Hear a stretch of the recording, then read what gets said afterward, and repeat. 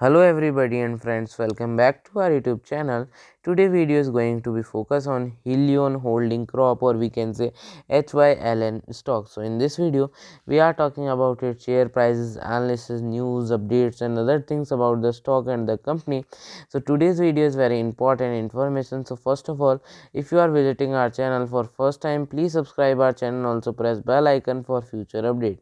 Hyliion holding crop it was one of the stock that we covered in our recent videos and as this was the biggest one in terms of revenue. We thought let us have look at them first.